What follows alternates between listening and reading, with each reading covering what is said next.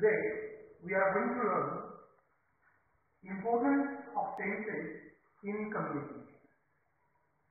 My dear friends, you are well acquainted with the fact English is the international language.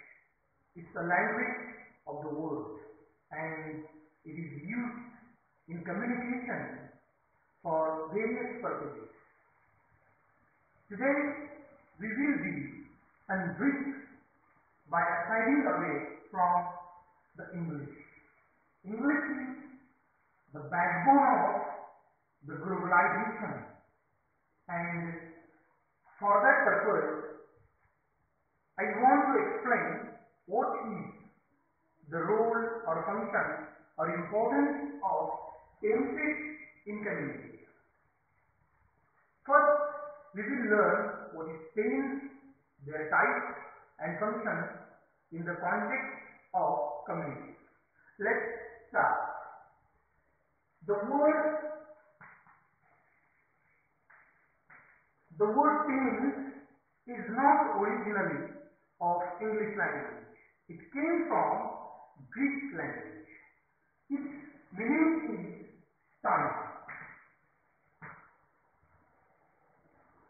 This word indicates the time. Tense, this word indicates the time in the rotation of Earth. And according to that, we define the various times of the day, night, etc. Tense is the foundation for our dialogue, our daily routine communication in English language. So it has a very very important.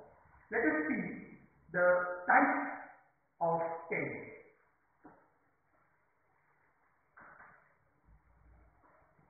Tense are divided into three types as per their main types are concerned. First is present tense,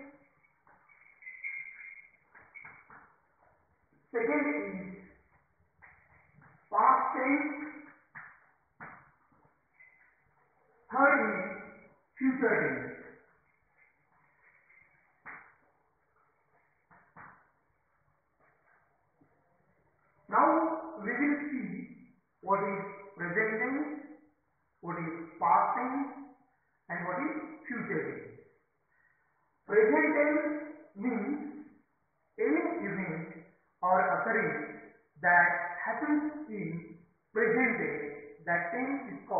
Present.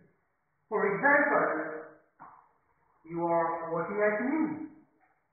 I am teaching you. This is the example of present tense.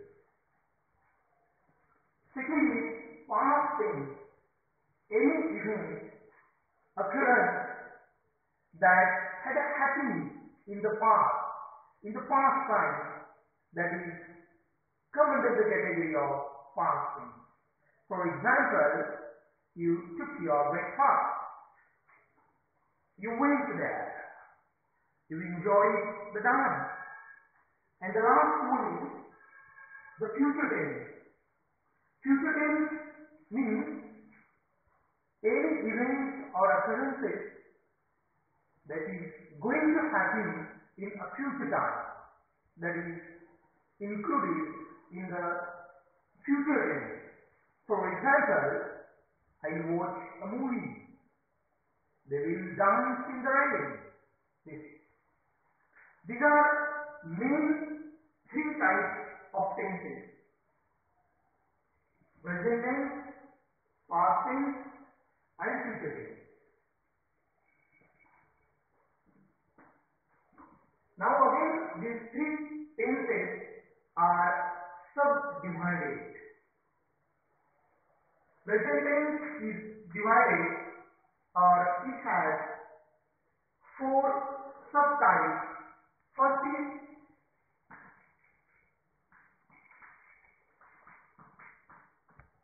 simple present tense. Second is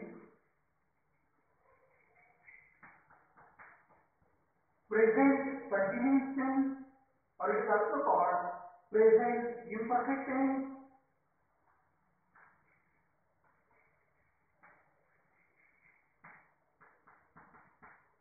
Third is present perfect tense and fourth is present perfect continuous tense. These are the four subtypes of present. Let us see an example one by one. Simple present. For example, I go to the college.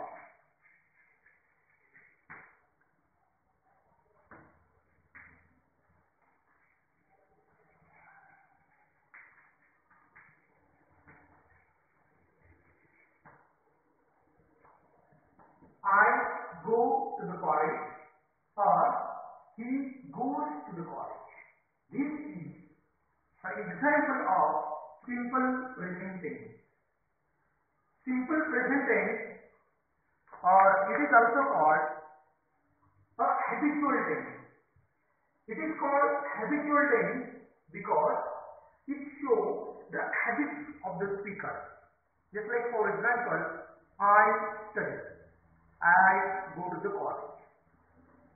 But in this example, it is clear that he is not going to the college. He has not gone to the college, but he goes. But he goes. He goes or he studies. It shows that the habit of him going to the college. That's why it is called habitual tense. It is called simple present tense because the simple things and regular things that happens in the present tense are shown with this tense. That's why it is called simple present tense. Just like he goes to the college, he reads a newspaper. Here we use yes and here as suffixes to the root word according to the subject of the sentence. If there is a third person singular noun, then we use he and he here as a suffix to the root word. This tense is used to show the universal truth, habitual events, and routine things in a present tense. This is the importance of this tense. It is used in a large number as our communication is concerned. So many sentences we use simple of simple present tense in our communication. So we should pay attention to it. It is studied in a structural way that is subject plus verb plus related word.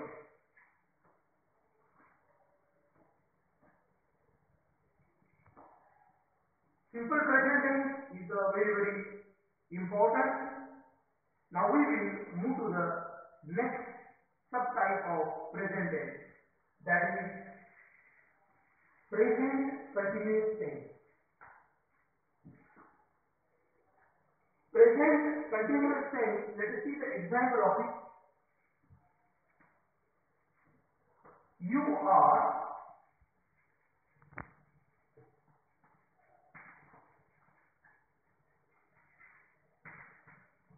you are learning English. Now do the analysis of this sentence. You is a subject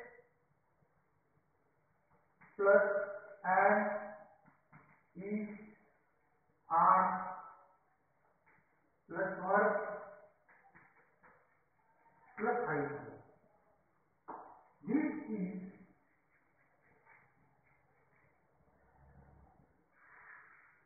the composition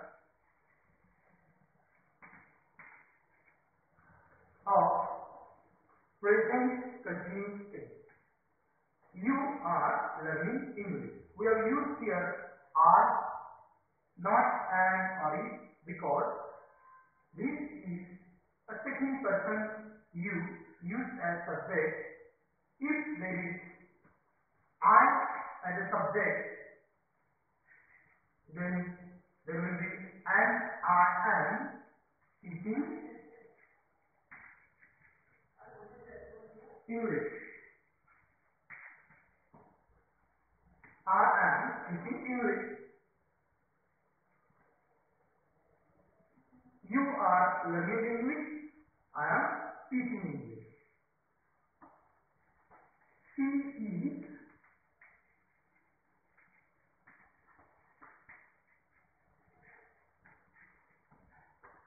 is learning English. Let us see the use of present continuous tense. Here you see you are learning. Here the act of learning English is going on. Act of learning English is going on. The action of learning is going on. And you know that in a present continuous tense, action is going on in a present time. It is in process. When the action is in process and it is in continuous form, such sentences or such actions are forms are used in present continuous tense. Just for example, you are learning English. You are all boys are learning English language here. I am teaching English. He is learning English. He is learning English. you can also make many other examples as you are talking. Suppose for example, he is talking with she. She is talking with they. Again, we are all talking together. All these are example of present continuous tense. We use this tense so much or in a large number when we communicate with one another in our daily life because we frame so much sentences in present continuous tense. So, my friends, I appeal you that you notice the composition of this tense that is subject plus and are plus verb plus identity and again also a related word as you select for your sentence. Examples are given here. Uh, you start very simple, simple sentences if you want to be expert. Just like you are learning, I am teaching, she is learning, I am standing, you You are sitting, I am speaking, you are listening. These are a sentences of three words. But this will provide you the basic of present continuous tense. And with the help of this, you can make bigger sentences in this tense that will be very very helpful in communication in English. And in this way, you can got mastery over some other parts that are used in communication. Let us see the third type.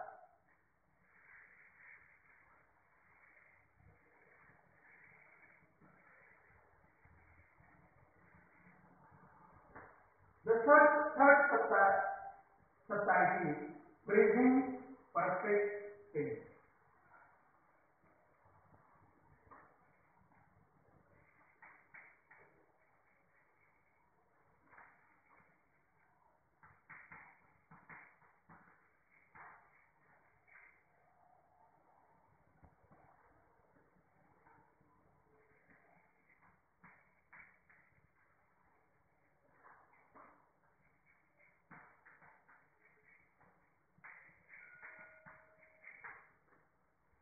tense. the example, I have a letter.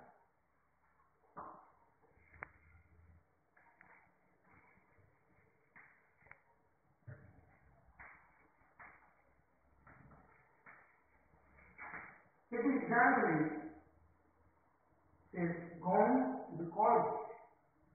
Now see the composition of the tense. Subject plus have or had plus pp. pp means present participle of word. That is also called a third form of the word. Here see the first sentence. I have written a letter. I is the subject, have is a present form word, written is a PP of write a letter. It's object